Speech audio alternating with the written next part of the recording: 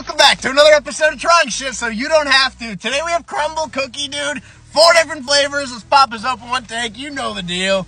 See what we're working with here. Look at all these flavors, bro. This is like some sort of Teddy Graham honey fucking thing, pardon my language. Uh, peanut butter, uh, Reese's or something. This is like a cake batter with white chocolate chips. And we're gonna start off with this guy here. It's looking immaculate, dude. It is served cold, apparently. This is a chocolate cupcake. It's supposed to be kind of like the hostess cupcake. I tried to split it right down the middle. Didn't work at all. But that's gonna be a good bite.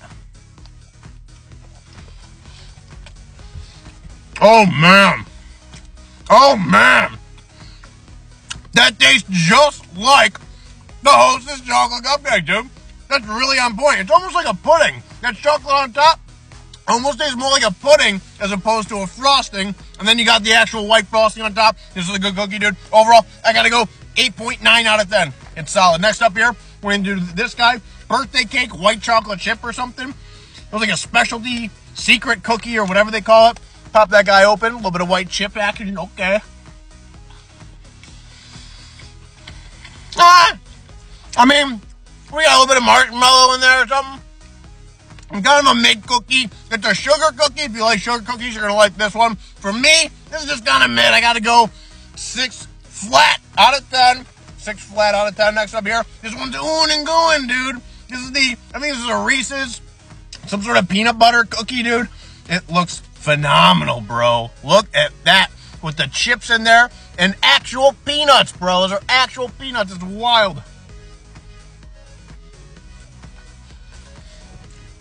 Oh my god. Oh my god. Dude, peanut butter, chocolate, the best combination, dude. On a peanut butter cookie, tastes like my grandma made it, dude. This is phenomenal. It's probably one of my favorite Crumbl cookies I think I've ever had. Overall, mmm, mmm, nine, flat, out of ten. It's good.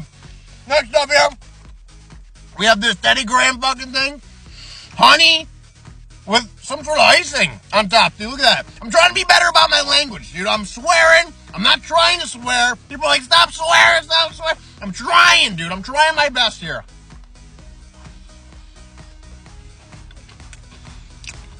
Nah. Tastes like honey. I mean, the Teddy Graham is a cute little guy on top there, but it doesn't add much flavor at all. Overall, this one's just kind of bland. I gotta go 6.3 out of 10.